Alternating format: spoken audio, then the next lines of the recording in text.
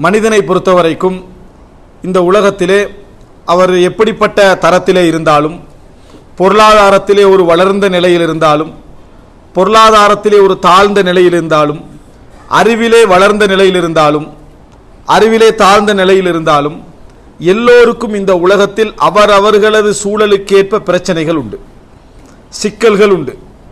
அந்த சிக்கல்களை விடுவிப்பதுதான் வாழ்க்கையுடைய அன்றாட தேவைகளாகவும் அவருக்கு என்ன செய்யும்? இருந்து கொண்டிருக்கும். ஒரு முடிச்சு அவிழ்ந்து போக அடுத்த முடிச்சு என்ன செய்யும்? உருவாகும். அடுத்த முடிச்சு அவிழ்ந்து போக அதுக்கு அடுத்த முடிச்சு என்ன செய்யும்? அப்படியே உருவாகி கொண்டே வரும். இறுதியாக எந்த முடிச்சும் இல்லை என்றால் அவருக்கு மூச்சே என்ன செய்யாது? எரிக்காது மௌத்தாகிடுவார் உலகத்தில் வந்து பிரச்சனைகள் இல்லாமல் எந்த ஒரு மனிதனும் இந்த உலகத்தில் என்ன? இல்லை. ஆனால் அவரவருக்கு அவரவரது பிரச்சனை பெரிது. அதனால் தான் பேசுகிற நேரத்தில் நீங்கள் பார்க்கலாம் நீங்கள் அனுபவித்த சோதனையை விட நான் நிறைய அனுபவித்திருக்கிறேன் என்று ஒருவருக்கு ஒருவர் என்ன செய்வாங்க? பேசிக்கொள்வாங்க யார் ஒரு சோதனையை போய் நீங்கள் சொன்னாலும் சரி அவர் ஒரு திருப்பி உங்களுக்கு என்ன பதில் சொல்வார்னா இது என்ன சோதனை? நாம் பட்ட சோதனை இருக்குது. அது இதை விட ரெண்டு மடங்குன்னு என்ன செய்வார்? சொல்லக்கூடிய நிலையில நாம் என்ன செய்கிறோம்? பார்க்கிறோம். அன்புள்ள சகோதரர்களே இது இந்த சிக்கல் இந்த பிரச்சனைகள் எல்லாருடைய வாழ்க்கையிலும் இருந்து கொண்டுதான் இருக்கிறது. நல்ல முறையிலே சிரித்து மக்களோடு பேசி வசதியாக வாழக்கூடியவருக்கு பிரச்சனை இல்லை என்ற அர்த்தம் அல்ல. அவரது பிரச்சனை அவருக்கு பிரச்சனை குறைவு என்ற அர்த்தம் அல்ல. அவரவர்களுடைய நிலைக்கேற்ப பிரச்சனைகளும் சோதனைகளும் சூழல்களில் உண்டு என்பதை முதன் முதலாக புரிந்து கொள்ள வேண்டும். ஆனால் இந்த இடத்துல நான் சொல்ல விளைவது என்னவென்று சொன்னால் எல்லோரும் பிரச்சனைகளை எப்படி நீங்க வேண்டும் என்று விரும்புகிறார்கள் தெரியுமா? அந்த பிரச்சனை அவர் ஒரு ரூபத்திலே நினைத்திருப்பார். இந்த பிரச்சனை இந்த அமைப்பிலே நீங்க வேண்டும். இந்த அமைப்பிலே தீர வேண்டும். இந்த அமைப்பில் எனக்கு என்ன செய்ய வேண்டும்? அது சோல்வாக வேண்டும் என்று நினைத்திருப்பார். இதைத்தான் பிரச்சனைக்கு தீர்வாக நிறைய பேர் என்ன செய்கிறார்கள்? நினைத்துக் கொண்டிருக்கிறார்கள். எனக்கு இருக்கக்கூடிய இரண்டாயிரம் செலரி மூன்றாக மாற வேண்டும். இதான் இந்த பிரச்சனைக்குரிய தீர்வு. இது அவர்களாக எழுதி கொண்ட தீர்வு. அந்த மூவாயிரம் உள்ளவன்ற நிலைமையை பார்த்தாலும் அவனும் என்னது? நிம்மதியாக இல்லை. ஆனால் எல்லோரும் ஒவ்வொரு தீர்வை என்ன செய்கிறார்கள்? வைத்திருக்கிறார்கள். நாட்டில் உள்ளவன் என்ன நினச்சிருக்கிறான்னா ஃபொரினுக்கு போனாதான் இந்த பிரச்சனைக்கு என்ன? தீர்வு. இங்குள்ளவன் என்ன நினைக்கிறான் அவசரமாக நாட்டுக்கு போனா தான் என்ன? தீர்வு. இப்படி ஒவ்வொருவர் அவர்கள் பிரச்சனைக்கு அவரவர்கள் ஒரு டிசைன் பண்ணி என்ன செய்கிறார்கள்? போய்க்கொண்டே இருக்கிறார்கள். அங்கே போன பின்னால மறுபடி பாஸ்போர்ட்டை திருப்பி தட்டி மறுபடி வந்துடுறது. ஏ இங்கே தான் தீர்வு அப்படின்னு நினைக்கிறான். இப்படி ஒவ்வொருவரும் அந்த பிரச்சனைக்குரிய தீர்வு என்கின்ற அந்த கோலத்திலே நீங்கள் பார்க்கலாம். அவரவர்கள் அந்தந்த முடிவை எடுக்கிற நேரத்தில் இறுதி நிலையில எப்படி மாறுகிறார் தலைகீழாக என்ன செய்கிறார்? மாறக்கூடிய ஒரு நிலையை நாம் என்ன செய்கிறோம்? பார்க்கிறோம். அன்புள்ள சகோதரர்களே ஆனால் நாம் அற்புதமான ஒரு மார்க்கத்தை சுமந்திருக்கிறோம். அதாவது இந்த உலகத்தை படைத்து இந்த உலகத்துடைய வாழ்க்கை முறையை படைத்து அதுக்கான ஒழுங்குகளை படைத்து மனதனுடைய இயல்புகளை தெரிந்து மனிதனுக்கு கூட்டல் க- அதாவது மனிதனுக்கு அதிகமாக தருவதும் குறைத்து தருவதும் என்கின்ற நிர்ணயங்களை செய்த ரப்புல் ஆலமீன் தந்த ஒரு வாழ்க்கை வழிகாட்டி மார்க்கத்தை நாம் இருந்து கொண்டிருக்கிறோம். இஸ்லாம். இந்த இஸ்லாத்தை பொறுத்த வரைக்கும் வெறும் வணக்க வழிபாடுகள் மாத்திரம் அல்ல மனிதனுடைய எல்லா பிரச்சனைகளுக்கும் உள்ளத்தின் ஆழத்திற்கு சென்று அவனே புரியாத அளவில் தீர்வு சொல்லக்கூடிய ஒரு மார்க்கம். இந்த மார்க்கத்தில் பல விஷயங்கள் எங்களுக்கு என்ன செய்கிறது? இலகுபடுத்தப்பட்டு தரப்பட்டிருக்கிறது.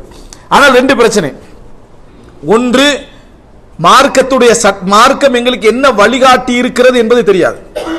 மார்க்கம் என்ன வழிகாட்டி இருக்கிறது என்பது தெரியாது. இரண்டாவது பிரச்சனை என்ன அப்படின்னு சொன்னால் அந்த வழிகாட்டுதலை பின்பற்றுகின்ற அளவில் நமக்கு மனோபக்குவம் இல்லை. இந்த ரெண்டில் ஒரு காரணமாகத்தான் நாங்கள் இந்த பிரச்சனைகளுக்கான தீர்வுகளை வேறு வேறு இடங்களிலே என்ன செய்கிறோம்? தேடிக்கொண்டிருக்கிறோம். ஒரு சிலர் என்ன செய்வார்கள் என்று சொன்னால் நம்ம பிரச்சனைக்குரிய தீர்வு என்று எப்படி நினைப்பார்கள் என்றால் பக்கத்தில் யாரெல்லாம் அகப்படுறாங்க அவங்ககிட்ட எல்லாம் சொல்லிக்கிட்டே இருப்பாங்க பிரச்சனை அப்படி என்னென்னது? அதை சொல்லிக்கொண்டே இருப்பார்கள். அவர் கேட்டு கேட்கிறது இவருக்கு ஒரு ஆறுதல். இப்படியே சிலர் என்ன செய்கிறார்கள்? அங்கலாய்த்துக் கொண்டிருப்பதை நம்ம என்ன செய்கிறோம்? பார்க்கிறோம். அன்புள்ள சகோதரர்களே முதலாவது ஒரு அடிப்படையை நம்ம புரிந்து கொள்ள வேண்டும். சில பிரச்சனைகளுக்குரிய தீர்வு என்ன தெரியுமா? இந்த பிரச்சனையிலிருந்து நாம் வெளிவர முடியாது என்று நினைப்பது. சில பிரச்சனைகளுக்குரிய தீர்வு என்ன தெரியுமா? இந்த பிரச்சனையில இருந்து எங்களால் வெளிவர முடியாது. அதாவது இயல்பானது. இது. இயல்பானது. இப்படித்தான் வாழ்க்கையுடைய முறை என்ன செய்யும்? இருக்கும். இப்படி ஒரு பிரச்சனை இந்த உலகத்தில் யாருக்கு என்ன செய்ய முடியாது? வெளிவர முடியாது. அப்படி என்ற தீர்வு சில பிரச்சனைகளுக்கு உண்டு.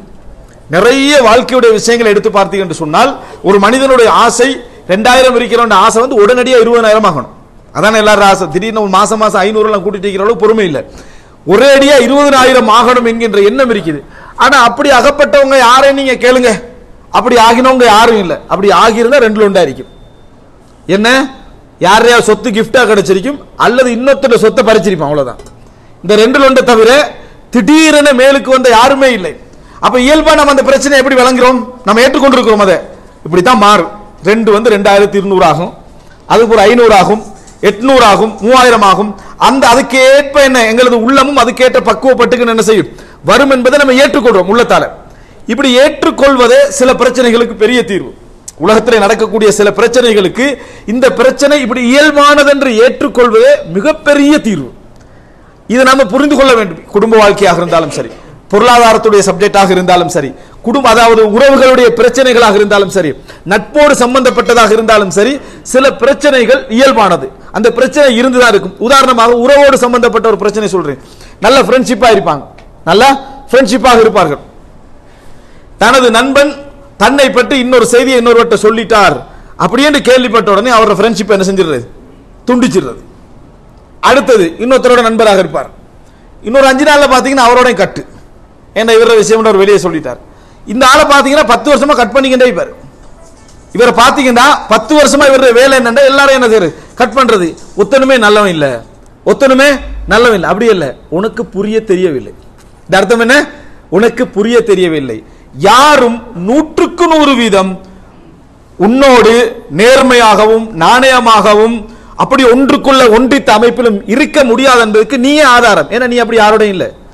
நீ அப்படி யாரோட என்னது? இல்ல நீனும் யாரோடு நெருக்கமாக பழகிறாயோ அவனை பற்றி ஒரு செய்தியை வெளியே என்ன செய்கிறாய்? சொல்லத்தான் செய்கிறாய் என்றால் இந்த பிரச்சனைக்கு தீர்வு என்ன? நல்ல நண்பர்களை தேடுவதல்ல. நட்பென்றால் இப்படித்தான் இருக்கும் என்று விளங்குறது பிரச்சனை முடிஞ்சிடும். நட்பென்றால் இந்த எல்லையை தாண்டி நூற்றுக்கு நூறு வித இஹ்லாசாக எப்படி ஒன்றோடு பின்னி பிணிஞ்ச நட்பன் உலகத்தில் என்ன செய்யாது? கிடைக்காது. இப்படி ஒரு சில சிக்கல்களை அங்கீகரித்துக் கொள்வதுதான் நட்பு என்று நினைச்சிட்டா இந்த பிரச்சனைக்கு தீர்வு தேவையா? இந்த பிரச்சனை இயல்பானது நம்ம என்ன செய்கிறோம்? நினைக்கிறோம். இந்த பிரச்சனை இயல்பானது என்று நினைக்கிறோம். அதுக்கு வாழ்க்கையில பல உதாரணங்கள் என்ன செய்யலாம்? சொல்லிக் கொண்டு போகலாம். வாழ்க்கையில் பல உதாரணங்கள். யாராவது நீங்க நினைச்சு பாருங்க. நீங்க இப்ப மௌத்தா போறீங்க. எங்களோட வாங்கினா எந்த பிரயாணத்துல போவீங்களா நீங்க? நீங்க இன்றைக்கு போறீங்க. இன்னைக்கு மௌத்து வர்றதுக்கான வாய்ப்பு இருக்கு. வாங்க பஸ்ல ஏறுவோமா? ஏற மாட்டோம் கன்ஃபார்மா தெரிஞ்சு தெரிஞ்சு டிக்கெட் போட்டு ஃபிளைட்ல ஏறுறான். அவன் முதல்ல என்னத்தை காட்டுறான்? சாகுறேன்டா. சாகிறதுக்கு முன்னால் என்ன செய்யணும்? இப்படி இப்படி எல்லாம் நீங்க என்ன செய்யணும்? போட்டுக்கொள்ளணும்னு சொல்றான். விரும்பி பெரிய அமௌண்ட் கொடுத்து பிசினஸ் கிளாஸா பார்த்து உட்காந்துக்கிறமா இல்லையா? எப்படி உட்கார்றான் அவன் முதலாவது அதைத்தான் உங்களுக்கு சொல்றான். பஸ்ல கூட அப்படி சொல்ல மாட்டான். பிளைட்ல அதைத்தான் சொல்றான். ஆனா எங்களுக்கு அது பெரிய ஒரு பிரச்சனை பெரிய பிரச்சனை மட்டுமல்ல. அவன் சொல்றது கணக்கு எடுக்கிறது இல்ல. ஏன் அவன் சொல்றது கணக்கு எடுக்கிறது இல்ல? அவன் வே தேவையில்லாம சொல்லிட்டீங்களா இல்ல. இது இயல்பானதுன்னு நம்ம என்ன செய்யிட்டோம்? உள்ளத்தால் அதை ஏற்றுக்கொண்டு விட்டோம். இல்லை என்றா நீ இப்படித்தான் சாக போறாய். சாகிற டைம்ல இப்படித்தான் நீ பாயம் என்று சொல்றத சும்மா இருப்போமா சும்மா இருக்க மாட்டோம். இயல்பாக ஏற்றுக்கொண்டவுடன் அது ஒரு அம்சமாக வரல. உலகத்திலே மனிதனுக்கு மிகப்பெரிய பிரச்சனையாக எதிர்க்கணும். வாழ்க்கை நின்று போறது. மூச்சு நின்று போறதா என்ன செய்யணும்? பெரிய ஒரு பிரச்சனையாக இருக்கணும். நீங்க அன்ற அன்றைக்கு செய்யற டியூட்டியில உங்களுக்கு மிகப்பெரிய டியூட்டியாக அல்லாஹ் தாலா ஒரு நாளைக்கு ஒத்த நூறு முறை மூச்செடுத்தா தான் உசுறு வாழலாமண்டா எலும்பினோடனே முதல்ல என்ன செய்வோம்? உட்கார்ந்து நூறு முறை மூச்சு எடுத்துட்டு தான் மற்ற வேலை நம்ம செய்வோம். ஆனால் இன்றைக்கு யாராவது மூச்சை பத்தி கணக்கு எடுக்கிறோமா மூச்சை பத்தி கணக்கே எடுக்கல. அது ஹதீஸ்ல வருது. எப்படி என்று சொன்னால் யுல்ஹமூன தஸ்பீஹ கமா உல்ஹிமு அன் நஃபஸ. இந்த உலகத்திலே மூச்சு அவர்களுக்கு எப்படி இயல்பாக்கப்பட்டதோ அது போல சொர்க்கத்திலே அவர்களுக்கு தஸ்பீஹ் இயல்பாக்கப்படும். சுபஹானல்லா என்று சொல்றது உலகத்தில் மூச்சு மாதிரி அவர்களுக்கு இயல்பாக்கப்படும். ஆனா உலகத்தில் மெயின் பிரச்சனைங்கிறதே மூச்சில தான். ஆனா அது யாரும் சட்டை செய்யறதே இல்லை. காரணம் இயல்பாகிட்டு. சில விஷயங்கள் இயல்பாகிவிட்டால் பழகிவிட்டால் அது பிரச்சனையே என்ன? இல்லை. பெரிய சிக்கலாக இருக்க வேண்டும் எங்களுக்கு மரணம் தான் ஆனால் எங்களுக்கு நோய் தான் பிரச்சனை ஆகி மரணம் பிரச்சனை ஆகிதான் இல்லை. ஏன்? மரணம் எல்லாருக்கும் வந்தாக முடியும் எக்ஸப்ட் பண்ணின உடனே அது பெரிய விஷயமா இல்லை. அது பெரிய ஒரு விஷயமாக இல்லை. பக்கத்தில் எக்ஸிடென்ட் பட்டு கார் தொங்கிட்டு இருக்குது. கவலையே வருது இல்லை மனசுக்கு. கபரடியில் வச்சு வாட்ஸ்அப் பண்ணி கண்டிக்கிறாங்க ஏ நல்லா விளங்குது ஜனாசாவுண்டு அடக்கி வச்சு அவனுக்கு ஒரு விதா வரலையே. எல்லாரும் மௌத்தார நானும் மௌத்தாக தான் போறேன் ஏத்துக்கிட்டான் ஏத்துக்கொண்டவுடன் அவனுக்கு அது இயல்பாக மாறி விடுவதை நம்ம என்ன செய்கிறோம்? பார்க்கிறோம். அன்புள்ள சகோதரர்களே இந்த ஒரு விஷயத்தை நம்ம புரிந்து கொண்டோம் என்றால் வாழ்க்கையில் நூற்றுக்கு எழுபத்தைந்து சதவீதமான பிரச்சனைகள் என்ன செஞ்சிடும் தெரியுமா? எங்களை விட்டு போயிடும். ஏன்? இந்த பிரச்சனை இயல்பானதுன்னு ஏற்றுக்கொள்றது. இந்த பிரச்சனை இயல்பானது என்று யார் ஏற்றுக்கொள்ள பழகிறார்களோ அவர்களால் நிறைய விஷயங்கள் போய்விடும்.